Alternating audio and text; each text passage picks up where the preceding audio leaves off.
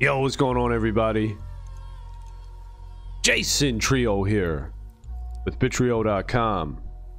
Today is Monday, January 24th, 2022.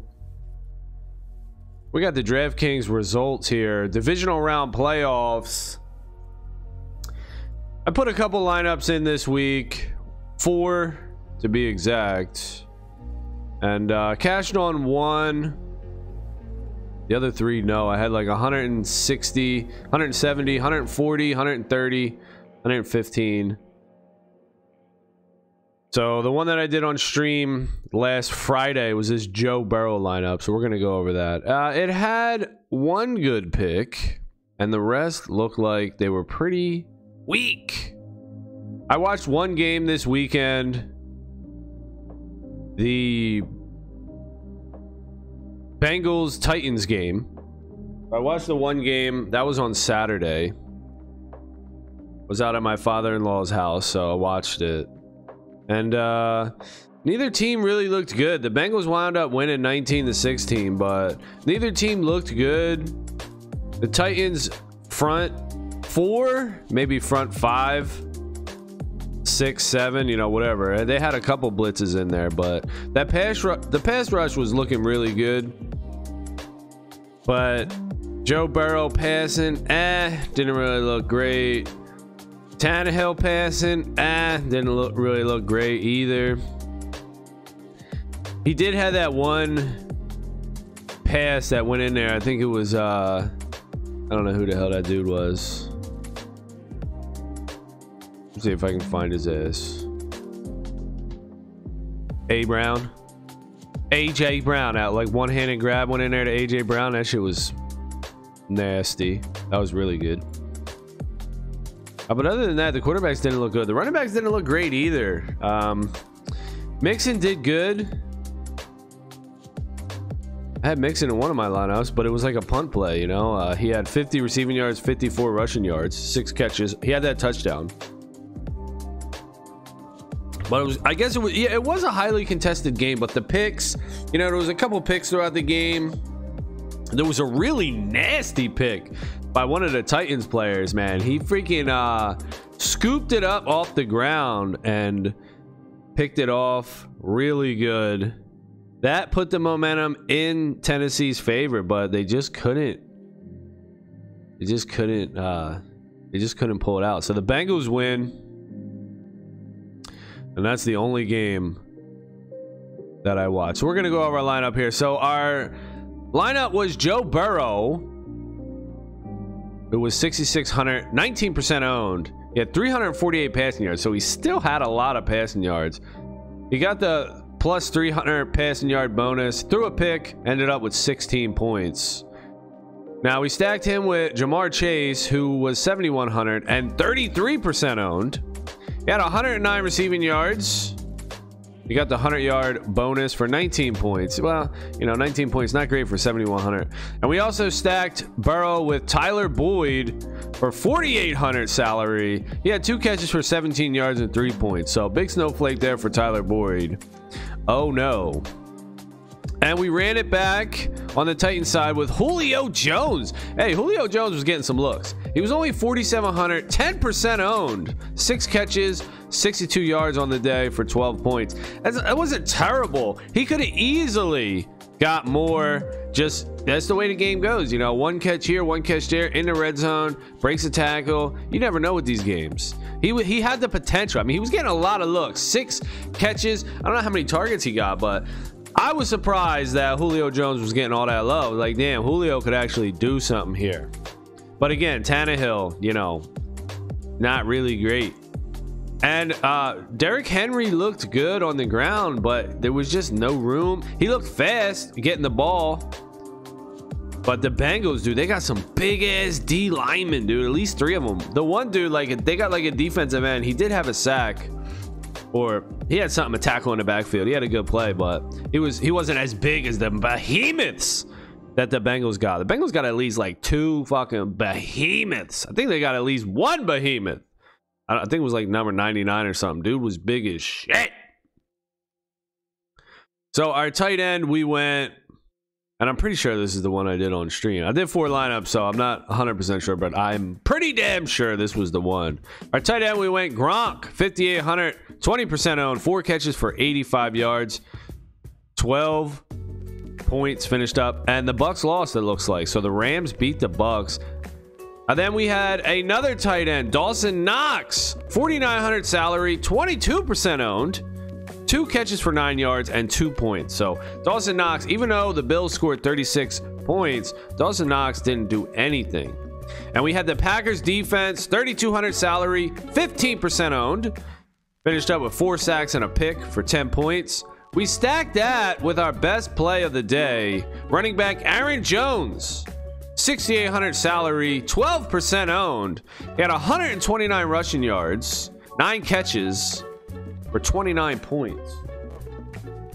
So that was pretty good. We also ran the 49ers running back here. Eli Mitchell, 5,800 salary, 28% owned. He had 18 receiving yards, 15 or 53 rushing yards on three catches, and a snowflake 10 points. So we finished with 115 points. Pretty weak here. Pretty weak. Uh, it looked all right. Our best lineup was, believe it or not, a Ryan Tannehill stack.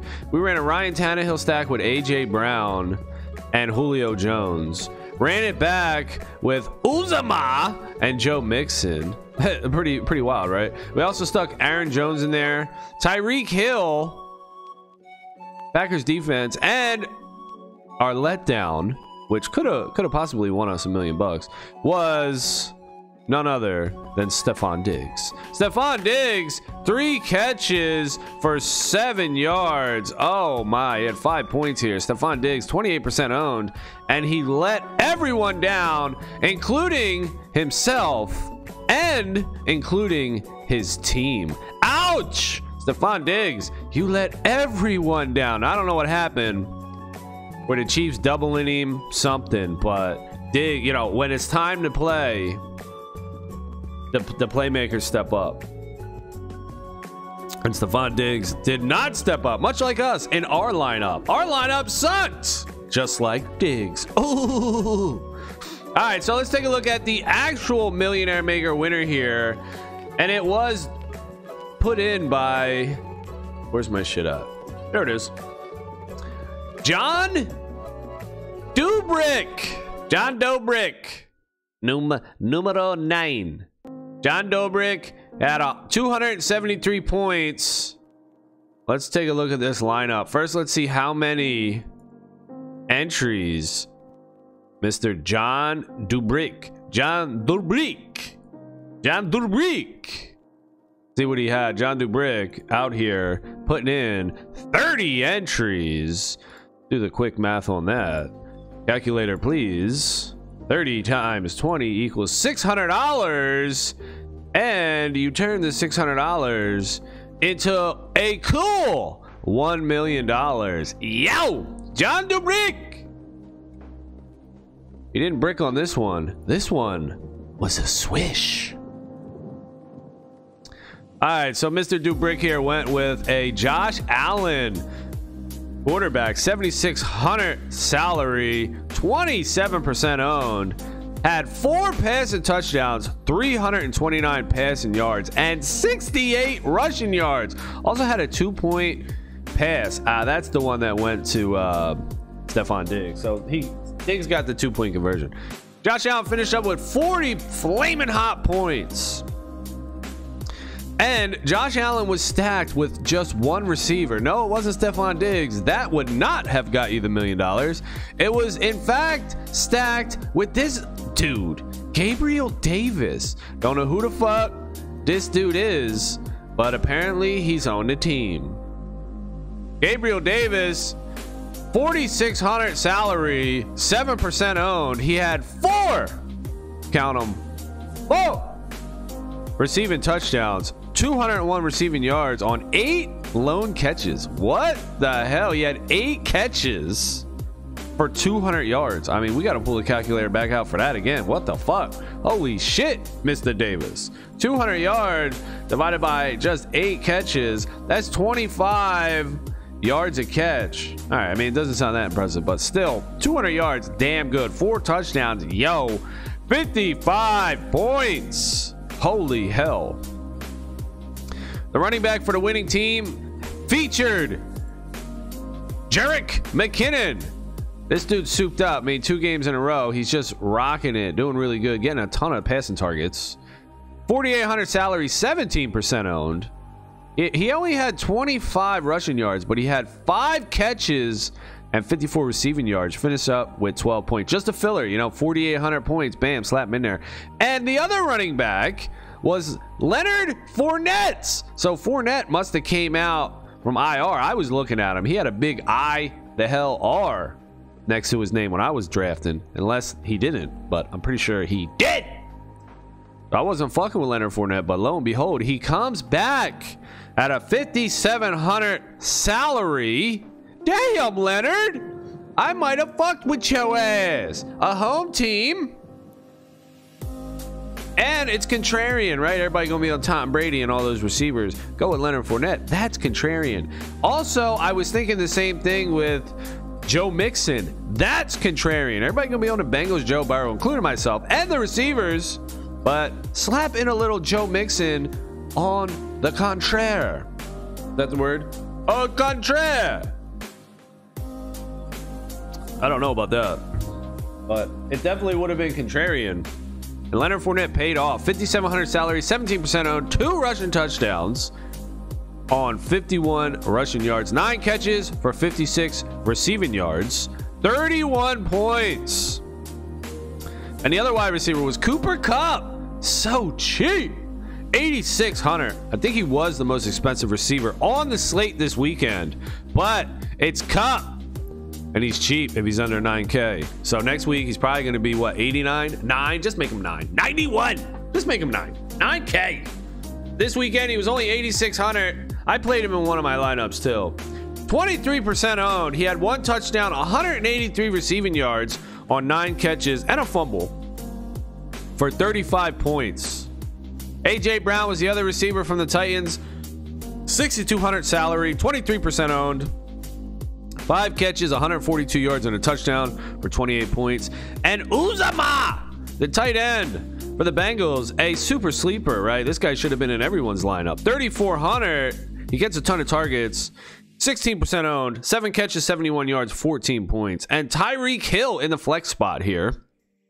6600 Tyreek Hill seemed a little cheap too. They all seemed cheap, you know. It was like I Ty I went one line. I was like Tyreek Hill, Stefon Diggs, Cooper Kupp. Like all these people, they seem they were. I guess because it was playoffs, they were down in price, but still couldn't win. Bitch. So Tyreek Hill here had 11 catches for 150 yards and a touchdown, 34 points, and the surprise for me was the 49ers defense 2500 12% owned they had five sacks and a touchdown defensive touchdown for 21 points and the 49ers beat the Packers 13 to 10. I had Aaron Rodgers in one of my lineups too. But no, I had Aaron Rodgers, the running back dude, Aaron Davis, whatever his name is, Aaron Jones, and fucking Davante Adams as well. I had that stack rolling, but no, no, no. The 49ers win to make it to the NFC Championship game. So let's take a look here. NFL playoff. We're just going to type it in. NFL playoffs schedule. Whatever. Can't spell any of those words. All right, so here's what we got going on here. This right here. Got a little bit of this for next weekend. Only two games. Only two games now. We got the Bengals traveling to Kansas City to take on the Chiefs. And the 49ers traveling to wherever, LA. Oh, shit. To take on the Rams. So if I had to, I mean, who knows? Dude, we could have a Bengals 49ers Super Bowl. If I had to guess, that's what I would say right now. Bengals 49ers? Because the Rams, right? It's LA. The all the 49ers from San Fran are going to be in LA. Nobody likes the Rams because they're not the home team. the Rams. We don't know where they're from.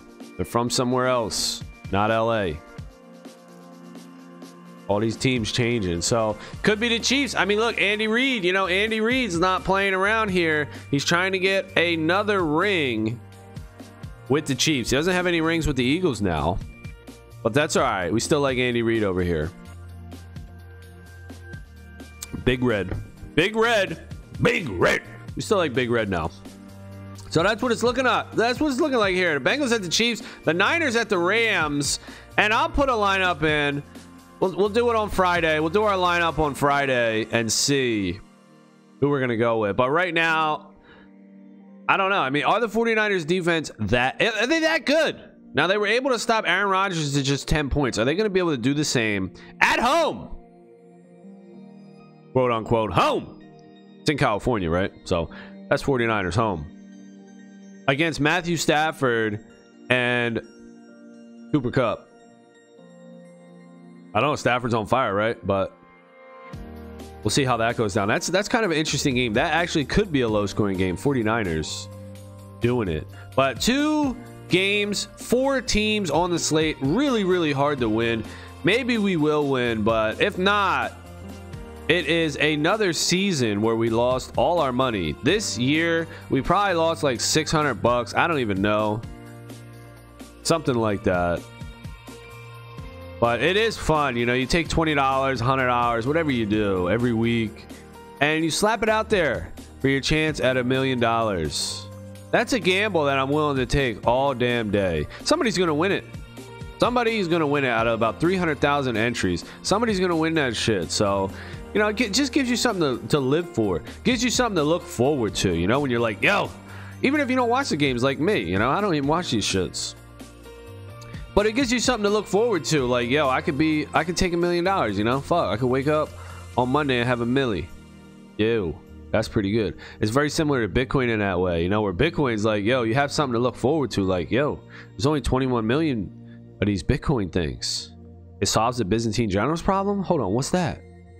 Oh shit, that's really important. That's really big. Oh shit. Maybe, maybe I should get a little bit of this. You don't have to buy a whole Bitcoin. You just get a little piece of that shit. You know, carve out your little nichey niche. Carve out your little piece and stack it, baby. Hold that shit. Buy and hold Bitcoin. All right, that's going to be it for this one. Thank y'all for watching. Later.